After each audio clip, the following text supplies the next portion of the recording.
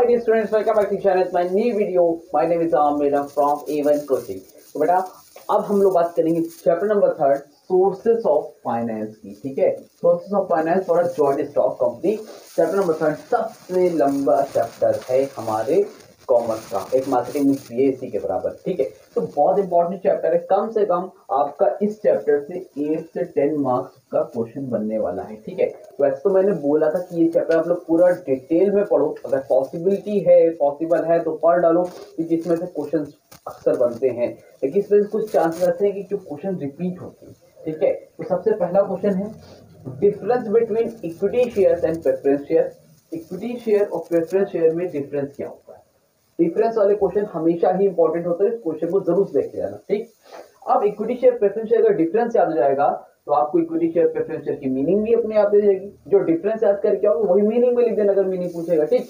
अब advantage disadvantage मैंने नहीं लिखा है, लेकिन आपके पास टाइम हो तो एटलीस्ट टू एडवांटेज या टू डिसएडवांटेज देख लेना। अब किस्मत बहुत ज़्यादा खराब होगी तो चार पाँच आ जाएगा, है ना? नहीं तो नहीं आएगा। हालाँकि आप डिफरेंस याद करोगे ना तो उसी में एडवांटेज डिसएडवांटेज भी आपको कवर हो जाएगा। उसी को बना के ले जाना काम हो जाएगा, ठीक है? इसलिए डिफरेंस याद कर लो मैक्सिमम पॉइंट्स आपका कवर हो जाएगा। Number two types of preference share और टाइप्स ऑफ़ डिवेंचर्स बेटा, ये जो दो क्वेश्चन है ना मोस्ट इंपॉर्टेंट मेरे हिसाब से बहुत ही हाईलाइटेड टॉपिक है। टाइप्स ऑफ़ प्रेफरेंस शेयर या टाइप्स ऑफ़ डिवेंचर और फोर फोर टाइप्स चार से ज़्यादा नहीं पूछेगा, ठीक है? डिवेंचर भी फोर टाइप्स तो चार तरह के डिवेंचर और चार तरह के प्रेफरेंस शेयर ज़रूर से देख लेना। Third question difference between share and debenture आपको मेरे हिसाब से फ़र्स्ट सेकेंड थर्ड फोर्थ में से एक क्वेश्चन तो आपको बोर्ड में मिल रहा होगा चार नंबर का। कंफर्म इसको ध्यान से देख के जाना। ठीक? उसके बाद आपका आता है defined retain earning retain earning क्या होता है? उसकी एडवांटेज और डिसएडवांटेज क्या होती है? ये आपको देख के जाना है। फिर है defined public deposit public deposit को पढ़ लेना। और क्वेश्चन नंबर सेवन में bonus share ESOP right share factoring trade credit certificate ये सब की सिर्फ़ मीनिंग पढ़ लो ठीक है? टू लाइंस की दो लाइन की जो मीनिंग होती है ना मीनिंग सबकी मीनिंग समझ लो या आ, या तो समझ लो या तो रट लो जो समझ में करो लेकिन इसकी मीनिंग पढ़ के जाओ बना के लिखो रट के लिखो जैसे भी लिखो मीनिंग पढ़ लेना बहुत है आपको काम हो जाएगा। अगर किस्मत का खेल है सब इसी में से ही डिटेल में पूछने लगेगा तो अलग बात है। लेकिन इंशाल्लाह आपसे पूछेगा नहीं, टेंशन मत लो।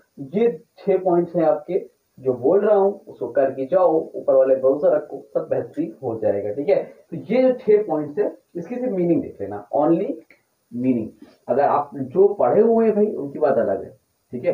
मीनिंग है ना, अब साल भर तो पढ़े नहीं हो, सौ में सौ एक्सपेक्ट तो कर नहीं रहोगे है ना? अगर मीनिंग आ गया, चार नंबर क्वेश्चन में मीनिंग का दो नंबर तो मिलेगा ना। बाकी कुछ ना कुछ लिख के आना, चार में से तीन तो मिल ही जाएगा, ठीक है? तो पूरा नहीं पढ़ना, आप लोग शॉर्ट तरीका बता रहा हूँ। जो पूरा साल भर बैठ के बैठा है भैया वो वीडियो को बिल्कुल ना देखे, उसके लिए नहीं ये वीडियो ठीक है? ये टॉपिक आपको देख के जाने हैं चैप्टर नंबर थर्ड से। आई होप कुछ ना कुछ हेल्प मिली होगी, ठीक है?